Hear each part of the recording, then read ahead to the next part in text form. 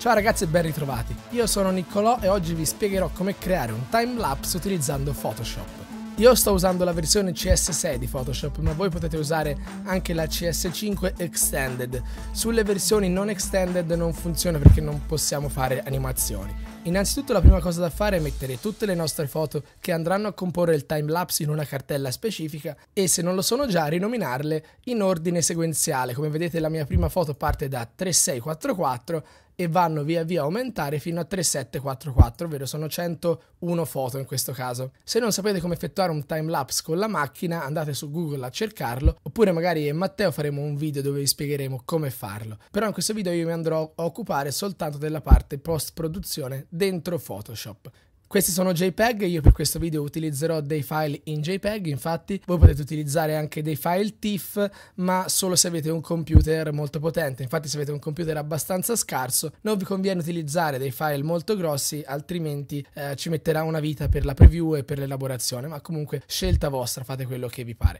Una volta che avete ordinato tutte le vostre foto in sequenza, torniamo su Photoshop e andiamo a creare un nuovo video quindi facciamo su, clic su file nuovo e eh, nel predefinito mettiamo film e video Ora io utilizzerò HDTV 720p a 29,97 frame per secondo, voi potete utilizzare anche il Full HD che è 1080p, io utilizzerò questo 1280x720 con risoluzione a 72 pixel per pollice. Potete anche scegliere di gestire il colore dentro eh, Photoshop io non lo farò, ma se voi lo volete fare utilizzate HDV Rec 709, che è il colore per i video HD. Io clicco su OK e mi si apre questo nuovo sfondo con le dimensioni di un file a 720p appunto.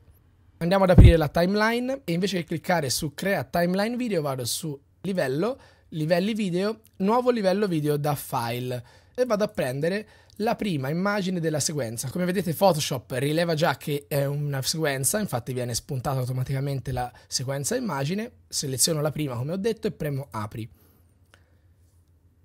Nella timeline ora viene creato questo nuovo livello 1 che sono le mie foto, vado ad ingrandire un po' l'immagine per farvi vedere a voi aumentando la dimensione delle anteprima qua sotto e come vedete queste 101 foto superano di poco i 3 secondi, arrivano a 3 secondi e 10 frame. Ora, visto che ho usato nelle impostazioni 30 frame al secondo, vorrà dire che ogni secondo che passerà mia, nel mio video avrò 30 foto. Io in questo caso però voglio avere 25 frame al secondo invece di 29,97. Quindi clicco su questo triangolino qui e vado su impostazioni frequenza fotogrammi timeline e invece di 29 metto 25.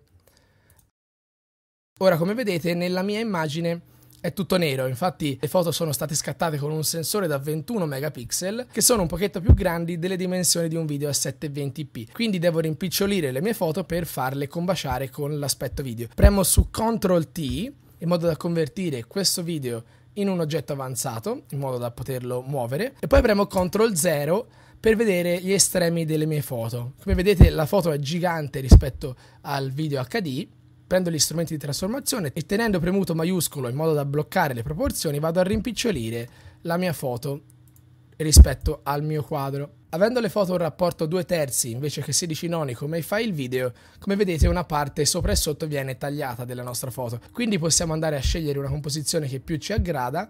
Una volta selezionata la parte della foto che vogliamo avere nel video, come vedete se io porto avanti la timeline le nuvole si spostano Ovviamente non è in tempo reale perché Photoshop deve andare a pescare quella foto dal, dal, mio hard disk e quindi ci metterà un po' di tempo. Infatti apparirà una lineetta verde sopra la nostra timeline che ci indicherà che questa parte del video è stata renderizzata e salvata nella memoria. Ora chi ha un computer più potente questa cosa sarà molto più veloce.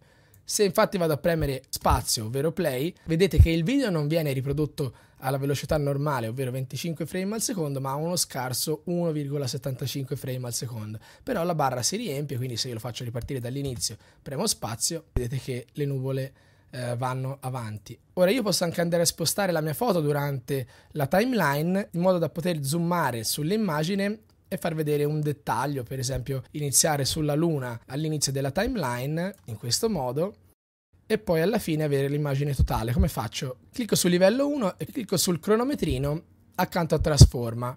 Vado avanti fino alla fine della timeline e ridimensiono la mia foto come prima per dargli le dimensioni di questa di questo HD e vedete che viene aggiunto un nuovo keyframe rispetto a questa posizione. Premo invio per confermare la trasformazione del file.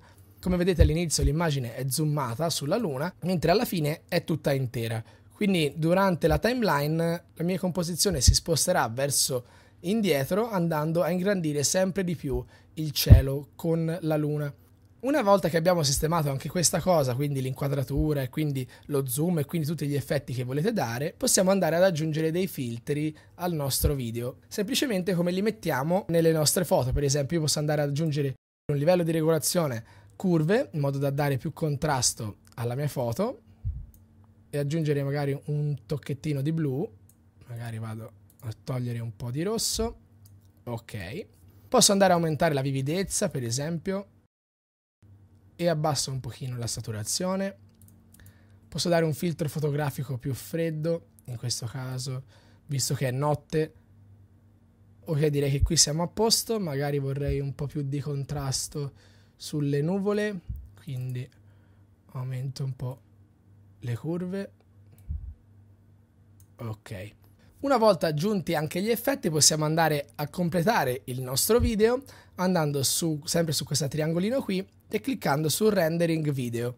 Ci si apre questa finestrella per il rendering video. Chi ha già visto il mio tutorial sul far nevicare lo saprà di già. Possiamo andare a scegliere la cartella in cui andare a salvare il file e andiamo a scegliere un formato tra QuickTime oppure H264. Scegliete H264 se volete mettere il file su internet, in quanto vi crea un file più compresso e quindi adatto per il web. Invece QuickTime per avere un filmato da tenere sul vostro hard disk, ma con una maggiore dimensione in megabyte. Io scelgo H264, alta qualità, le dimensioni lascio quelle dell'HD dell'inizio del documento, 25 frame al secondo come detto prima, e metto tutti i fotogrammi 3D, nessun 3D, visto che non è un file 3D, e clicco su rendering. Ah, diamo un titolo al mio video e clicchiamo su rendering. Ora l'esportazione del video potrebbe durare parecchi minuti in base alla quantità dei filtri che avete messo, alle dimensioni delle vostre foto, al se state usando TIFF o dei JPEG, insomma più cose avete aggiunto e più sarà lunga l'esportazione del video, quindi potete andare a fare altro.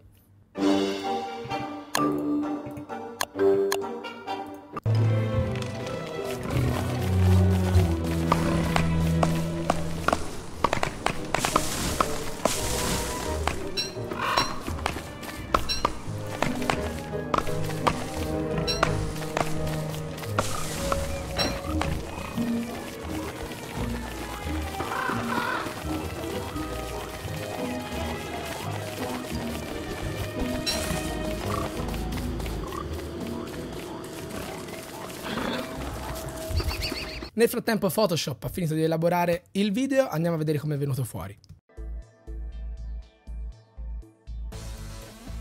Come avete visto è stato molto semplice da fare. Con questo è tutto, postate i vostri risultati, i vostri timelapse che avete creato sulla nostra pagina Facebook, trovate tutti i dettagli qui e nella descrizione del video. Un saluto e mi raccomando iscrivetevi al canale. Ciao!